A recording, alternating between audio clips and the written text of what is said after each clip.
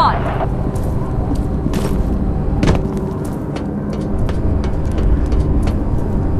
I saw her at the end of the hall.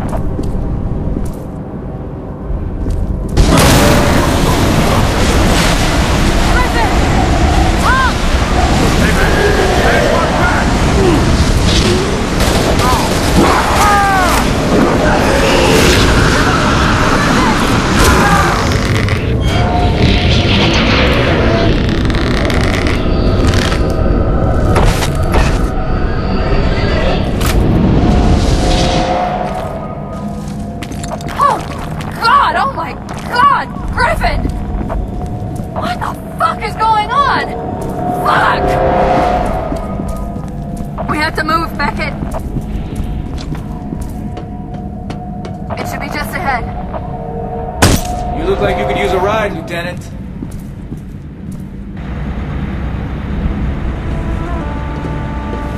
Where's Griffin? Just get us out of here, Sergeant. Shit.